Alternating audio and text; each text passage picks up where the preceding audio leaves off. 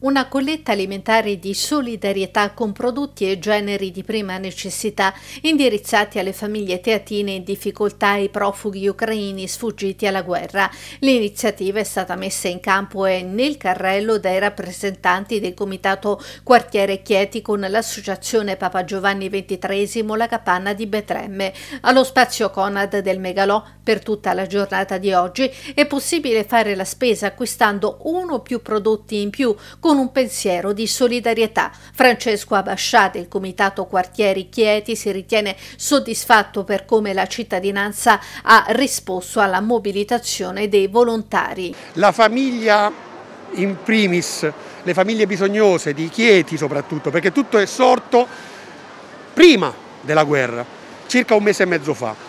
Abbiamo organizzato, ho chiesto l'autorizzazione al nostro direttivo, comitato di quartiere, mi sono proposto a Luca, Luca ha aderito con entusiasmo. Luca Fortunato, Luca Fortunato di, della Capanna di Betlemme, gruppo sarebbe l'associazione Comunità Papa Giovanni XXIII, che è qua a Chieti, ma è un'associazione che è in vita da circa vent'anni.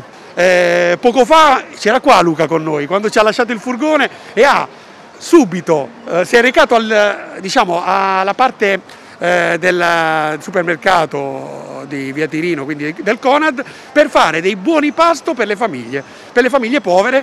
Ovviamente per l'occasione c'era anche da sostenere i rifugiati della purtroppo guerra in Ucraina e questo è, è l'iniziativa nostra è fornire il necessario e posso dire che la, la, città di Chieti sta rispondendo alla grande e, stia, sto facendo fatica a sistemarli nel furgone.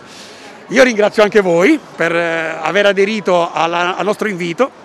Diciamo ai telespettatori che è possibile tutto il giorno venire qui allo spazio Conad a Megalò per aderire a questa iniziativa. Sì, abbiamo due turni, siamo circa 18 persone e ripeto, sosteniamo i bisognosi di Chieti in primis e poi adesso anche gli ucraini.